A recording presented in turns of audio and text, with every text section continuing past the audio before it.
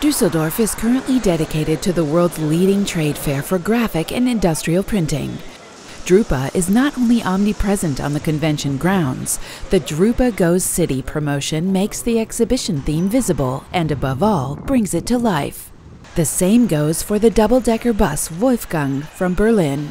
In this traveling laboratory of the Aachen University of Applied Sciences, the interested can learn about the latest scientific knowledge of 3D printing technology.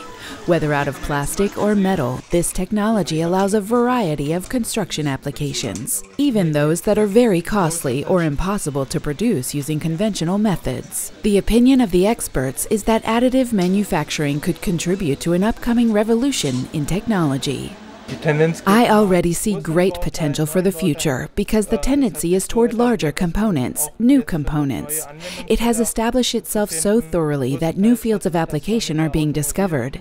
It is already an established method in the automotive and aerospace industries, which has given way to such a fascination that the manufacturing of other products using the 3D method is well underway.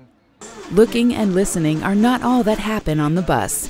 Those who wish to can print self created 3D models, and with help from the experts, the results are something to be proud of.